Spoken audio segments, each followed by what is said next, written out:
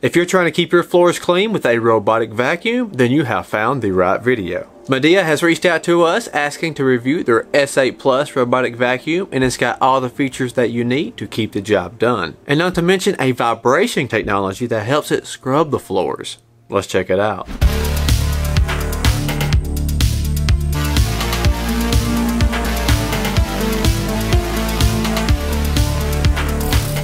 Welcome back to another episode of Good Tech Cheap. My name is Brad and I'll be the host for today's episode. If you are new to the channel, then I totally recommend you to hit that subscribe button and turn on that bell if you'd like to receive notifications. In today's episode, we have my Midea's S8 Plus robotic vacuum to review, and we've got all the links and additional details about the S8 Plus located in the description. So first thing is first, we are going to get it out of the box, do some cleaning, and see how well it does massive box. So let's get it out and see what all we have on the inside. On the very top we've got some paperwork.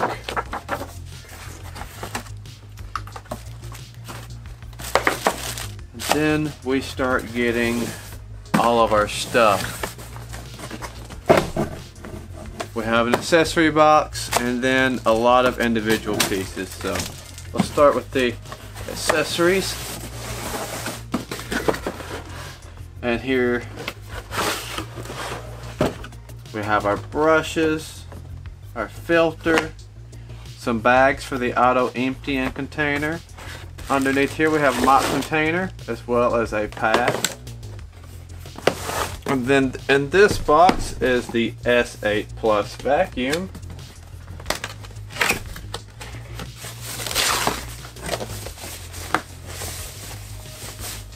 What a beauty. It's in black.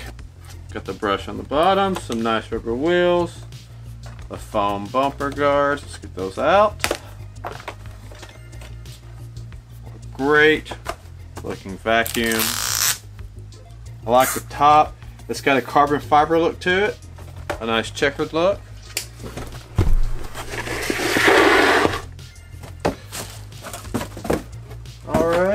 Then lastly in the box we have the self-emptying container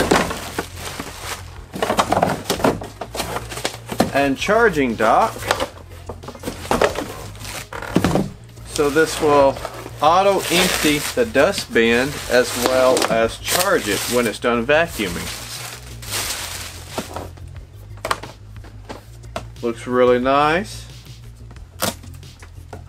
On top we've got the bag and dustbin. So,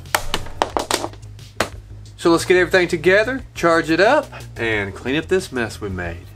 After getting a good charge and syncing it to my mobile device using the M Smart Life app, it did an excellent job mapping out my rooms, creating a saved map for making no-go zones, virtual walls, scheduled cleanups, and more. The fully automated intelligent cleaning was also impressive. With its new LDS navigation system, it was able to accurately scan my home and let the robot clean in different modes, so that way it would not miss any spots or repeat any areas. You can also connect Alexa and Google to the app for voice support. So I ran it over some trash that I laid out that my cats usually end up making anyways, and it picked it up without any issues on the first run through. And that was also with the standard suction settings. A lot of trash like this usually takes competitor vacuums a couple of passes to pick it all up, but this one did in one.